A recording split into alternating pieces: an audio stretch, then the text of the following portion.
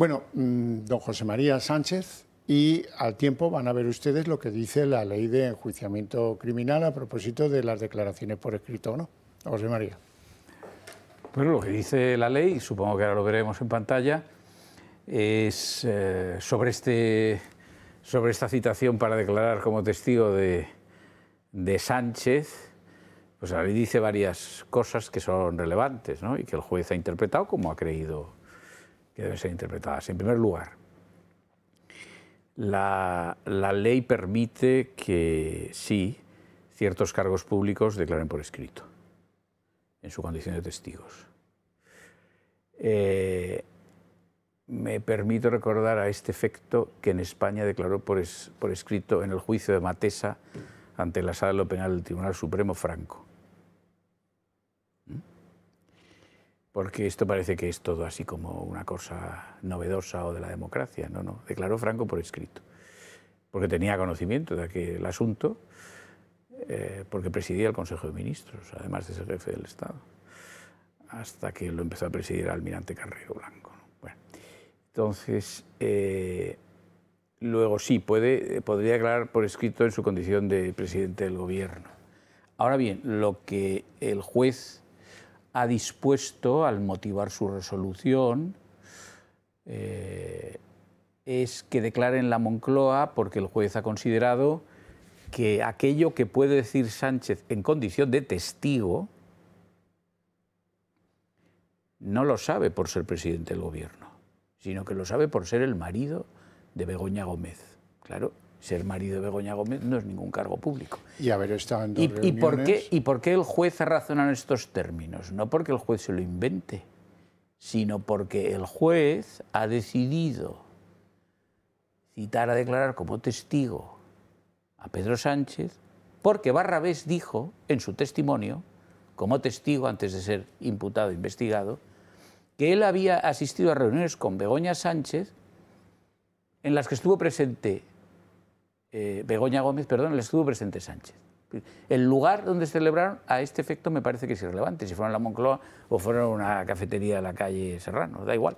Aunque a efectos políticos no lo sea tanto. A efectos políticos no lo es, pero a efectos judiciales da igual. Lo cierto es que Barrabés dijo que en esas conversaciones mm. habidas con esta señora, que era con la que él entendía lo que sea, ese negocio, ese máster, lo que sea, no, renuncio a calificarlo, estaba Sánchez. Luego Sánchez escuchó lo de lo que se habló. Luego Sánchez es testigo de esas conversaciones. Luego es un elemento suficiente para que el juez lo llame a declarar como testigo de aquello que vio y oyó. Y aquello que vio y oyó, efectivamente lo vio porque era el marido de la señora que mantenía esa conversación con Barrabés. Y además hay una circunstancia adicional que es la que probablemente ha sido determinante de la voluntad del juez de citar a declarar como testigo a Sánchez. Y es que cuando ha sido interrogada sobre estas cuestiones Begoña Sánchez, no ha declarado.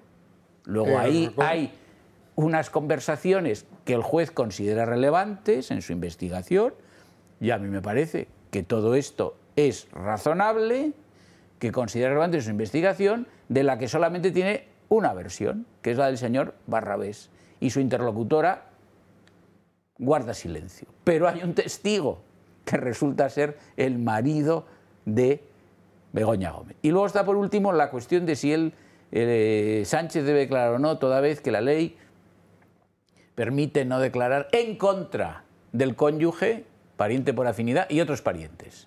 En contra.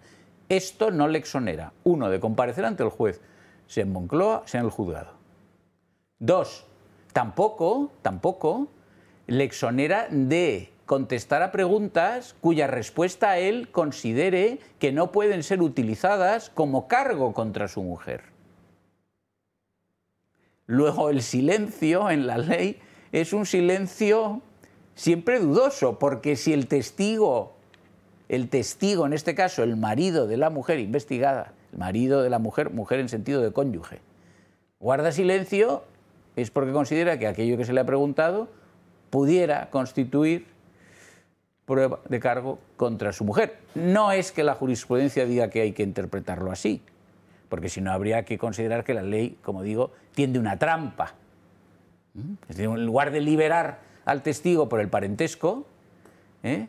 eh, tendería una trampa al testigo. No es eso, pero al final que guarde silencio o deje de hacerlo o conteste parcialmente, sí será valorado por el juez en la fase de instrucción. Es claro, a mi juicio.